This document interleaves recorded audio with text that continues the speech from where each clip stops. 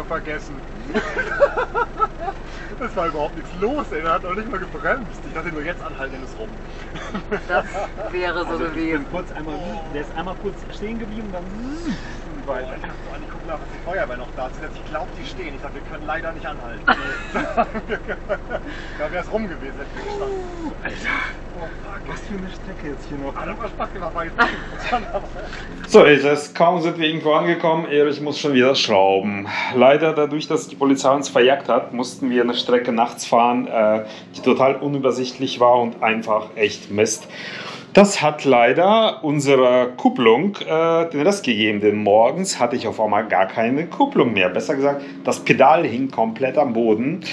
Ja, da ich schon immer wieder ein Problem hatte mit meinem Kupplungsnehmer, war klar, äh, der Kupplungsnehmer muss durch sein oder zumindest verliert irgendwo einfach mal das Öl. Ähm, ja, äh, ich habe äh, die Nachbarn gefragt rundum, denn standen ohne Ende Offroad-Fahrzeuge, ob die eventuell so eine äh, Spritze haben und so äh, ja, Flüssigkeiten aufzufüllen. Leider hatte keiner sowas, also mussten wir zuerst, bevor wir überhaupt irgendwas machen konnten, selbst eine Spritze in der Wüste zaubern. Ja, aber so ist es manchmal. Man muss kreativ werden. Und dann bauen wir das zusammen. Alter Schwede. Also, ich bin mal gespannt. Ich, also ich bin auf jeden Fall begeistert davon, dass das schon mal jetzt so aussieht, als könnte es klappen. Ja.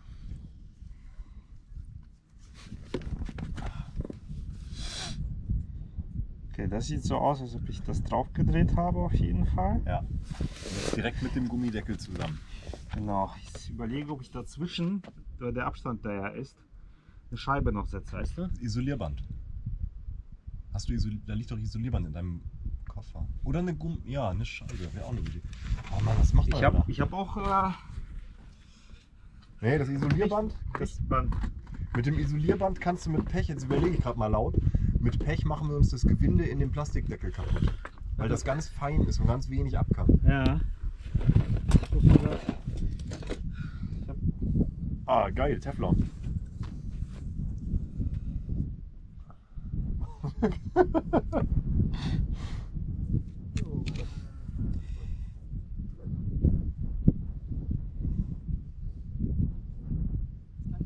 Cool, wir haben uns eine Spritze selber gebaut. Ach echt? Ja, aus einer PET-Flasche. Ach, deswegen hast du die kleine Flasche geopfert. Ja, wir brauchten die. Und leider musste ich noch die zweite opfern, weil die erste, da ist uns der Bau schief gegangen. Jetzt war es unser letzter Versuch, aber es scheint zu funktionieren. Aber sind, was hast du mit dem Wasser gemacht? Getrunken. Getrunken. Achso. Ist doch auch Also okay. Aus positiv. dem ersten habe ich mir einen Kaffee gekocht und mit dem zweiten, das habe ich dann getrunken. Da habe ich die ganze Flasche geäxt. So, jetzt haben wir hier so einen Nippel gebastelt, von hinten mit Dichtring, Ja, von mir aus. es geht nur um hier mit. Dichtband. Jetzt testen wir mal, ob das erstmal dicht ist und funktioniert. Die Flasche ist dicht. Also es ist, es ist dicht. Aber aus einer Spritze kommt schon mehr Flüssigkeit raus. könnt euren? Freunden sagen. Ich kann auch mal gucken, ob die Düse eventuell doch noch ein bisschen verstopft ist, aber Ja, durchpusten einfach. Ist ja auch blöd, ne? Die ist verstopft. Ja. Da ist irgendwas drin. Was ist denn das denn jetzt? Ist es jetzt eigentlich so, du hast jetzt nicht den Kompressor gekauft, den du erwartet hast zu kaufen? Okay. kann sein, dass die Düse verstopft war durch das Schmelzen von Plastik und Gummi. So, Jo. Also es hält. Mega, wir haben eine Spritze in Simpel. Ja, wir haben eine Spritze gebaut. Ja, Aber das, dann stornier die Scheiße bei Amazon, braucht Benny dir gar nicht mitbringen. naja, und noch viel simpler, weil da passt jetzt der Schlauch drauf. Den Ja. können wir richtig festmachen Ja. mit der Schelle. Ja. Da muss nur jemand drücken. Ja. Ohne hier äh, und Genau, er muss auch nicht viel Kraft, es ist nur. Genau. Druck. fertig. Genau, er muss nicht, mm, sondern einfach nur. Und Stauflasche leer, ey. So, Wie viele Stunden muss die Scheiße jetzt wieder trocknen, bis dann Russen-Style in der Wüste. Eigene Spritze gebaut. Gut, dass man so einen Nippel dabei hat, ne? Wo ist die trockene Flasche? Wo Was? ist die trockene Flasche? Weiß ich nicht. Ah, die habe ich drin gelegt. Ja. Ja, ey, ist doch geil. Dann muss das Ding jetzt nur einmal kurz trocken werden. Fertig. Oh Gott, hier kommt auch einiges an Schmor da hoch.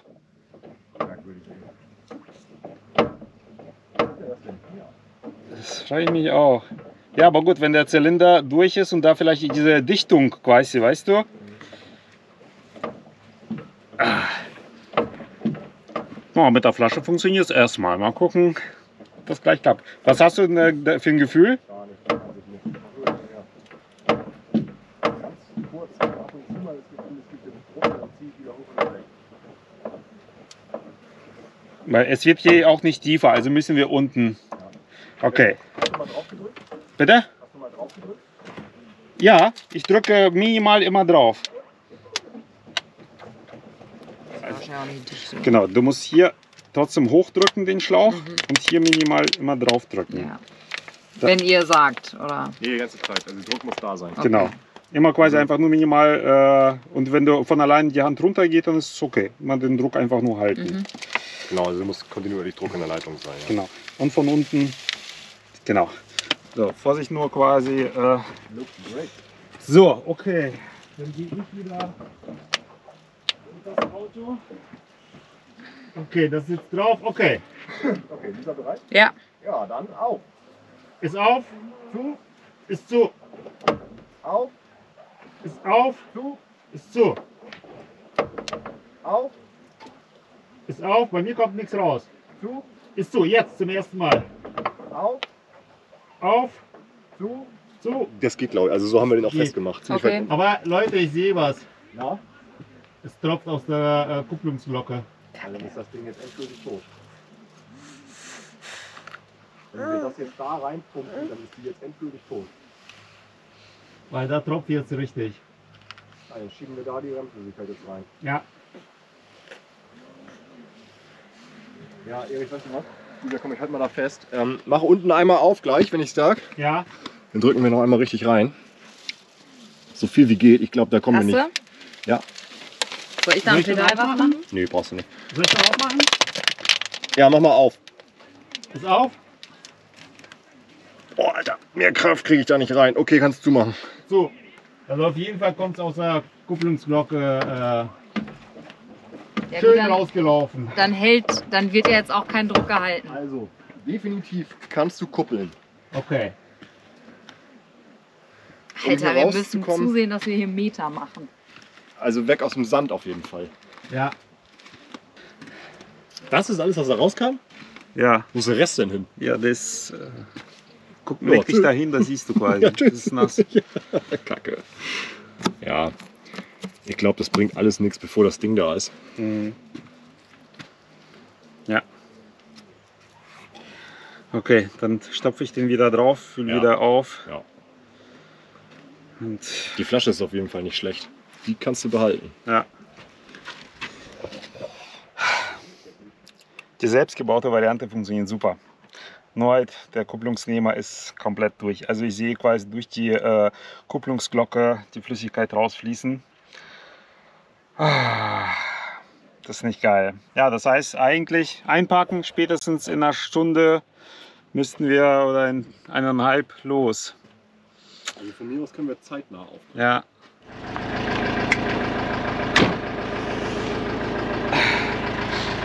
So, Auto ist gepackt. Guck noch mal durch. Alles soweit drin. Ja, wir fahren jetzt los. Erstmal einkaufen, ein paar Sachen auffüllen, dann nach äh, Sidi Ifni Daniel treffen und hoffen, dass das Auto bis dahin durchhält, dass das Kupplungspedal nicht einfach direkt wieder weg ist. Ich habe jetzt voll aufgefüllt, damit er da ein bisschen ah, Möglichkeit hat. Und minimal zum Nachfüllen habe ich noch da, muss ich gleich kaufen. So eigen uns da rein.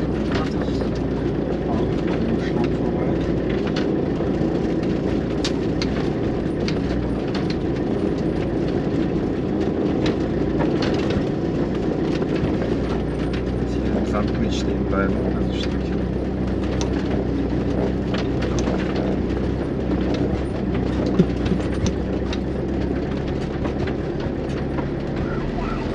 Jetzt sieht man alles, was wir nachts nicht gesehen haben. Ne?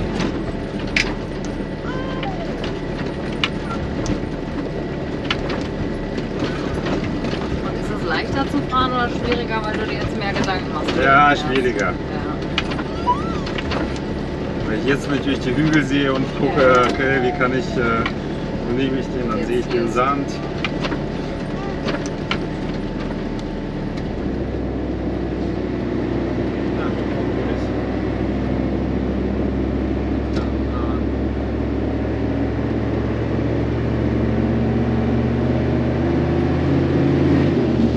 Wieder am Strand. Kommt selten vor, aber wir sind tatsächlich gestrandet in Sidi Ifni. Und gestrandet, wirklich gestrandet, denn unsere Kupplung ja schon wieder nicht will.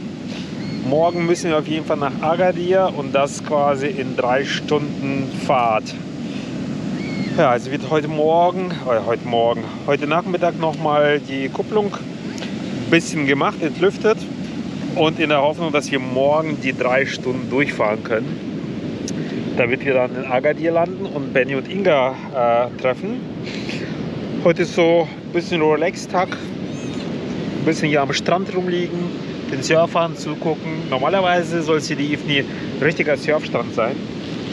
Aktuell sind alle Surfer draußen und warten, bis die Wellen besser werden oder liegen nur auf dem Wasser und warten auf die Wellen. Eins von beiden. Und Pete amüsiert sich hier auf jeden Fall mit dem Sand, läuft permanent Richtung Wasser. Dementsprechend muss man permanent ein Auge auf dich werfen, ne? Du kleine Schildkröte. Ja, also ist heute einfach mal Strand angesagt. Nichts Spezielles. Einmal Strand angucken ist okay, das mögen wir. Aber danach geht es wieder in Landesinnere rein, ab in die Berge.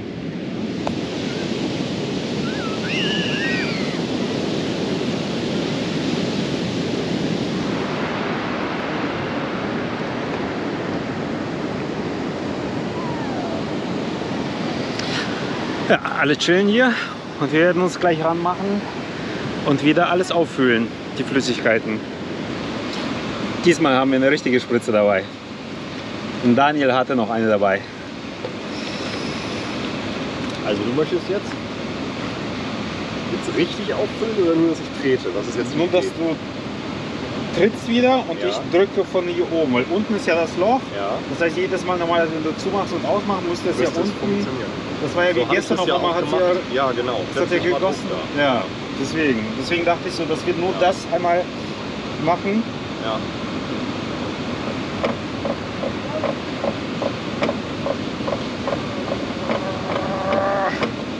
Okay, kurz Stopp. Auf jeden Fall von oben an. Echt? Ja. Würde sagen ja. So, wenn ich jetzt aber loslasse, dann saugt das wieder hoch. Ne? Pass auf. Okay, wir haben die jetzt wieder gemacht.